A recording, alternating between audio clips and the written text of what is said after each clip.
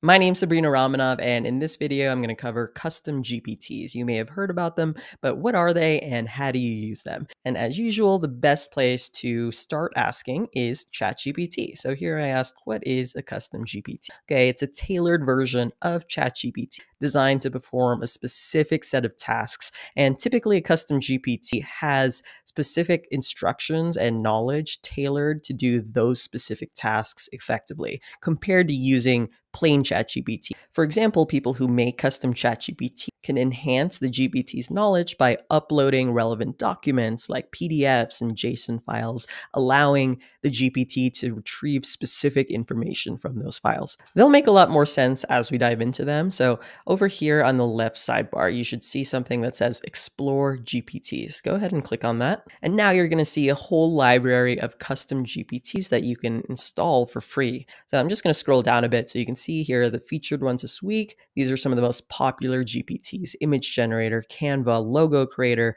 Write for Me, Scholar GPT, Consensus. And then here, GPTs created by OpenAI, Professional Writing Coach, ChatGPT use cases for work, multiple logo generators, Cartoonize Yourself, Tattoo GPT, many different writing tools to humanize your AI, help enhance your CV or resume, copywriting for marketing and ads, productivity tools, and integrations with other SaaS tools such as Canva, Veed, tools for research, tools for programming, tools for education, lifestyle, and many more. And you can search all the GPTs here. So let's try a couple of these out. So let's try Canva, for example. Okay, this is what you're going to see okay? And then just click Start Chat. And when you install a GPT, there are usually preset templates here for some of the most common requests, okay? Let's try this one, making an inspirational quote graphic for social media post. And now the Canva GPT, which you can access anytime from here. So you can always start a new chat with a GPT from here. But let's go ahead with this one. Do you have a specific quote in mind or should I choose a motivational theme to get started? I choose a motivational quote about believing in yourself.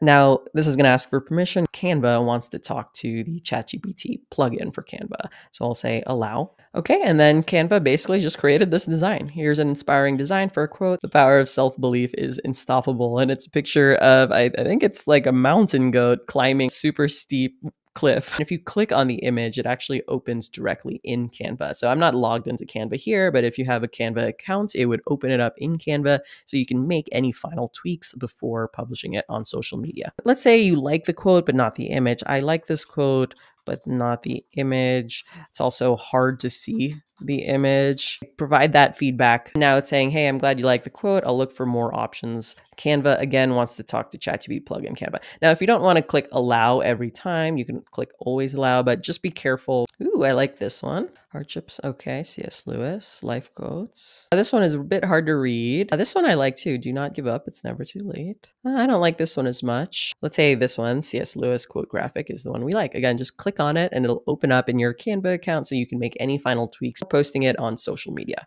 So here we just walk through an example of installing a custom GPT, in this case Canva, and then using it right out of the gate. Okay, let's go back to the GPT library, Explore GPT, and let's try consensus. Okay, Okay, start chats. And if you don't know what consensus is, it's basically like ChatGPT, but it's trained on a lot of research papers. And so it's really great if you're researching something and need citations, you can search references, and everything's backed by academic papers. Let's choose this one draft a blog on science backed benefits, in this case, mindfulness, but you can change it to any topic you want. Okay, and what's really neat about consensus is it provides these references to research papers. And let's check out some other chat GPTs. Okay, productivity. Here I scrolled all the way down to the lifestyle section, and there's stuff on astrology, therapy, making songs, fitness, travel, and gaming. Let's try the astrology birth chat. Okay. Can you analyze my love life through astrology? That's a fun one. So here I'm not going to provide my actual birth date, but I'll